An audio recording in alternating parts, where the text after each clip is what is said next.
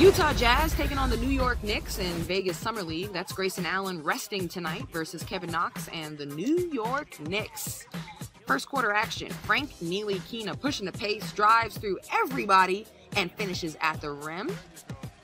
More from Frank later on. This time, Frank doing a little bit of creating for others. Nice pass as he finds Troy Williams, who finishes the layup but then for the Jazz, Jairus Lyles finds Diamond Stone under the rim, knocks it down for the jam. Next time, out of the corner, it's Stone finding Niang for the three pointer, and at halftime, Jazz up eight. All right, Knicks getting a lot from Kevin Knox, who knocks down the three pointer.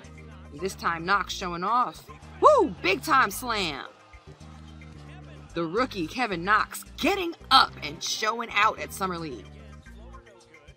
This time off the miss, staying with it is Mitchell Robinson with the putback dunk. Fourth quarter, Ochefu finding Troy Williams for the dunk. Sharing the ball are the Knicks.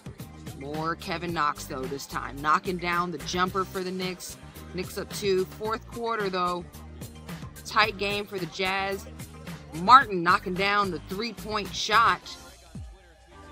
Again for the Jazz. Jairus Lyles tough layup and he finishes, and Utah goes on to win 90 85.